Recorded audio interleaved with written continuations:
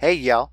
In this video, we're going to take a few steps back. I've had several emails recently, uh, and there have been some questions about joining vectors, grouping vectors, what the difference is, and a little bit of confusion as far as the dotted pink lines versus solid pink lines are concerned. So in this video, we're going to get into a discussion about them. And let's start with that point right there. The difference between the solid pink lines and the dotted pink lines. Now, a couple of people have emailed me having problems with vectors in that they think they have to get this solid this dotted pink line to become a solid pink line like this one here and that's just not the case. A dotted pink line simply means it's a vector that is standing on its own. It's a it could be an open vector, it could be a closed vector. It doesn't really matter on that score, but it's a vector that's out there on its own. Just like the outside profile of a project or this inside sculpture line or this sculpture line here, this sculpture line here. They may be closed, they may be open, but that dotted pink line is not the way you tell. Let me also say that you do not have to arrange it so that these dotted pink lines are solid like this one. The software doesn't care. All that means is this is a vector. The solid pink line is either a text object or a collection of vectors that have been grouped. It's one of those two. Now, this happens to be text, but that doesn't necessarily mean this is a text object. It could very well have been converted to curves and then grouped.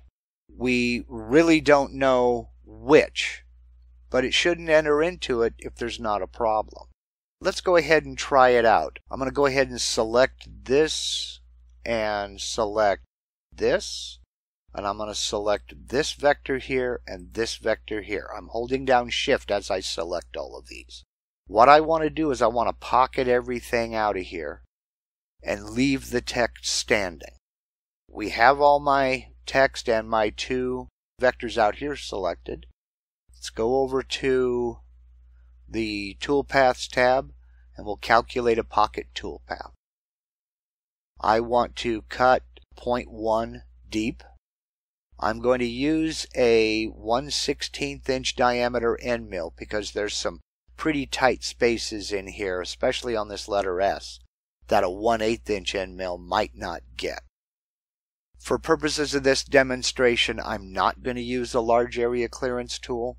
Normally I would, but just to show you what's going on, I'm not going to bother with it. We'll go ahead and we'll calculate that toolpath. And this is the error message that comes up. And I've had several people send me screen captures of this. And I don't mean to be flip here, but if you read this error message, it tells you everything you need to know and what to do to fix it. It's saying that it's ignoring grouped open vectors. Four open vectors were identified in the selection and are being ignored. Some or all of these open vectors are in groups. Grouping open vectors does not join them. To use these vectors, you need to ungroup them and join them. There are 29 remaining vectors, meaning there are 29 other vectors here that are good, but four of them are open vectors, and it can't cut these vectors. We have two choices. We can say OK and let it calculate the toolpath anyway, or we can cancel and try to go back and fix it. I'm going to go ahead and say OK. So it'll ignore those four open vectors, but that'll help us identify which ones they are. And we see right now the letter C is missing, and this O looks funny. So I don't even need to preview it. I already know that there's a problem with the O and the C. Let me uncheck that. I'll close my preview and I'll go back over to my toolpaths, uh, my drawing tab. I'm going to click off to deselect. Some of you know, some of you may not know, that Vectric kind of anticipated problems with open vectors. So we'll come out here off to a blank area where there is no vector, where I'm not got my mouse over a vector. And I'll right click, come down here to selection, then come down here to select all open vectors. No open vectors in design. Well, the toolpaths just told me that there were open vectors in design. What's going on? In a situation like this, the open vectors are in a group. I'll click OK here. Select all open vectors will not inspect a group. So when you have a situation like this, you now know that you have grouped vectors and some of them are open. Now we can go here, we can check this text, we can check this text. While I'm at it, we can check that text. So all of these are either text objects or they're grouped. Because we had problems with the O and the C, we can kind of figure on these being a set of grouped vectors. But we don't know about these others. So let's go ahead and select all three. By holding down shift and clicking on them. And we'll come over here under edit objects and we'll take choose this icon right here, ungroup objects back onto their original layers. Click on that and we see some of them have changed to the dotted pink lines. Some of them have not. So let's click off and let's take a look. These are all individual vectors. Aha, there's one of the culprits. These are individual vectors. This is not a text object. Well, we know then that these vectors were grouped, and it's the same with these. These were grouped as well. Now let's check these. These are still solid pink. How can that be? Well, we'll come over here and we'll select ungroup and nothing happens. That tells me that this is a text object. The way I can confirm that is with one of them selected, come up here and click my text, draw text button.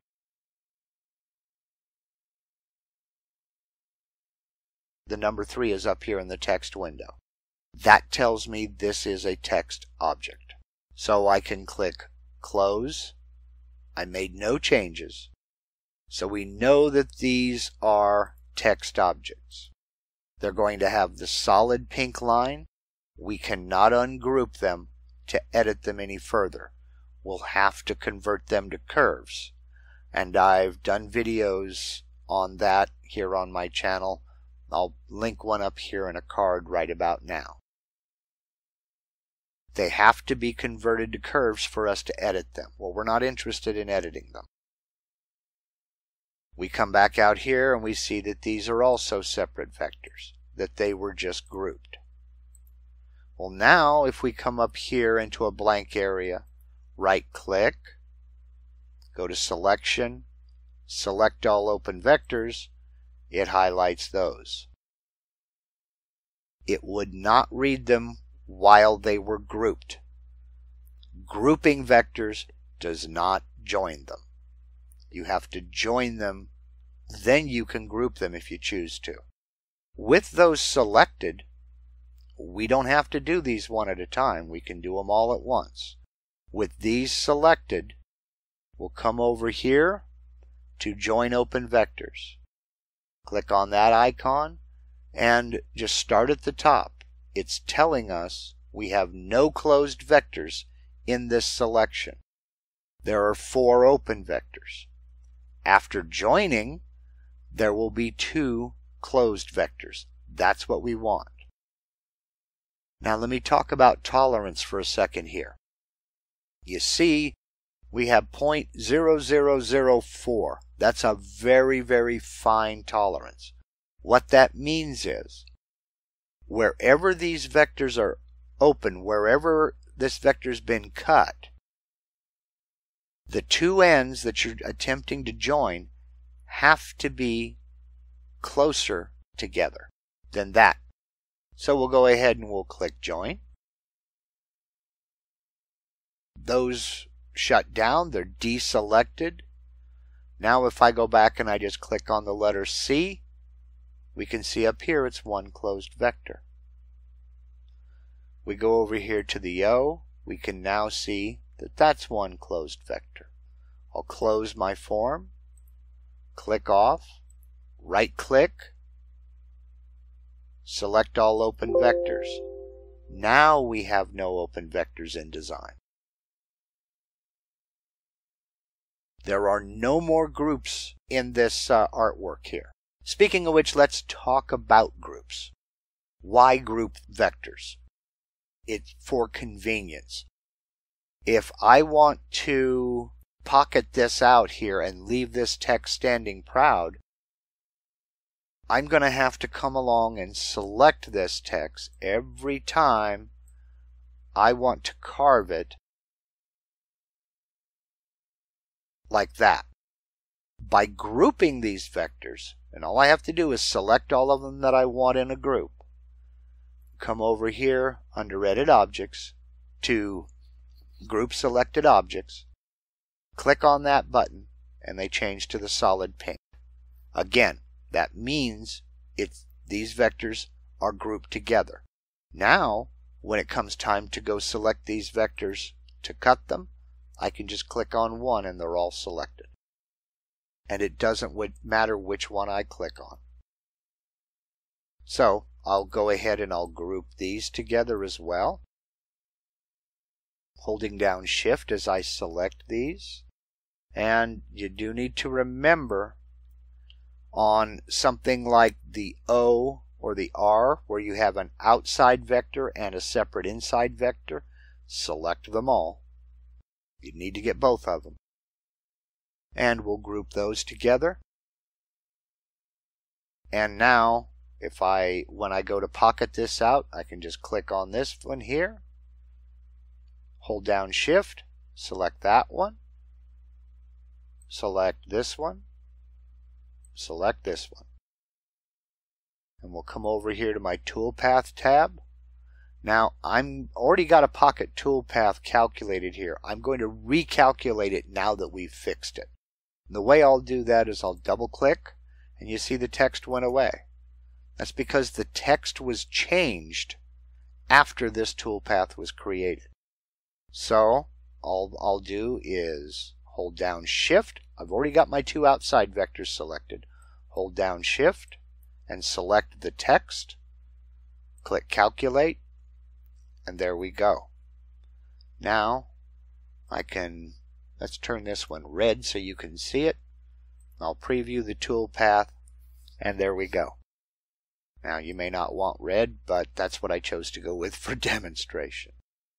Everything cut out just fine. What was supposed to have been pocketed away was pocketed away. I hope you got that and I didn't just add to the confusion these dashed pink vectors does not mean it's an open vector. It just means it's a vector that is by itself. It's not grouped with any other vectors. The solid pink means it's either a text object or it's a group of individual vectors just like this one. You do not have to create a solid pink vector out of this. This will cut just fine. The reason for grouping is for convenience, for the ease of selecting a whole bunch of different vectors that are scattered throughout the artwork. Group them, that way you don't have to go through and select each and every one again, like I'm going to have to do here when I go to cut the inside. Instead, select them all.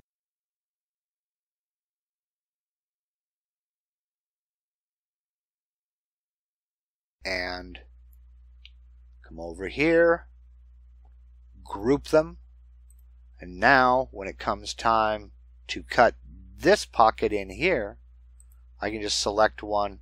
They're all selected.